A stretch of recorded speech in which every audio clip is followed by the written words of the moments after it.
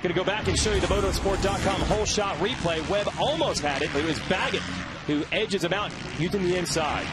Yeah, it was hard to tell who had it at this point because they're coming in from multiple angles, but Baggett had a good straight shot into the turn.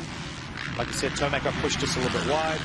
Seemed like if you're too tight, you got pinched. If you're a little wide, you got pushed out. So almost straight up the middle. So Blake Baggett of the holeshot was battling with Eli Tomac. Then Tomac went down, and now Baggett's got a big gap, 12 and a half seconds over a stacked field here at High Point.